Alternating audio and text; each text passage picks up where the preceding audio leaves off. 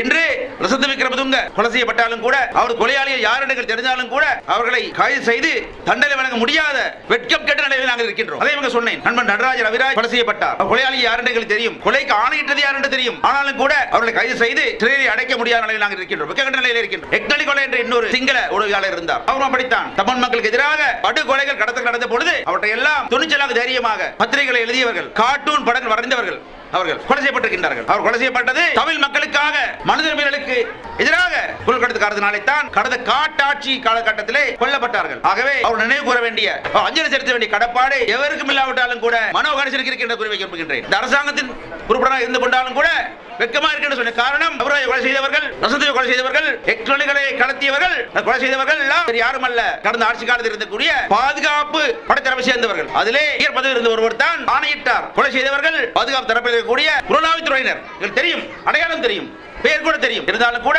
படைத்தரப்பு என்ற என்றால் ராணுவம் என்றால் போலீஸ் என்றால் விமானப்படை என்றால் கடற்படை என்றால் படைத்தரப்பு என்றால் அவர்களுக்கு கொலை செய்துவிட்டு தப்பக்கூடிய நிலைமை நாட்டில் நிலவுகின்றது.